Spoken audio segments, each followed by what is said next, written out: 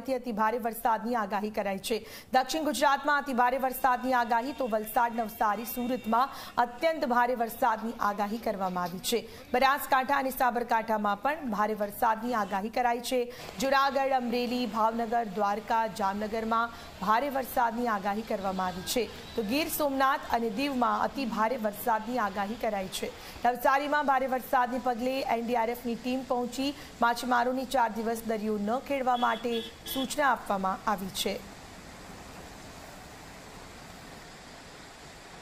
north Gujarat region में heavy rain भी ruled out नहीं है मार्जिनल हेवी रेन हो सकता है लाइक बानस का साबरकांडा बानसकांडा इवन आरावली सौराष्ट्र कच्छ के लिए देखा जाए तो very heavy rain Gir Somnath में हो सकता है और isolated heavy rainfall Jamnagar Amreli Bhavnagar even Dwarka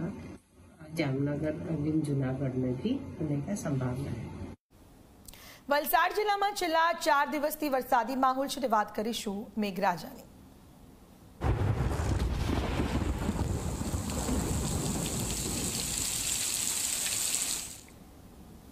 Valsad જિલ્લાના તમામ તાલુકામાં સાર્વત્રિક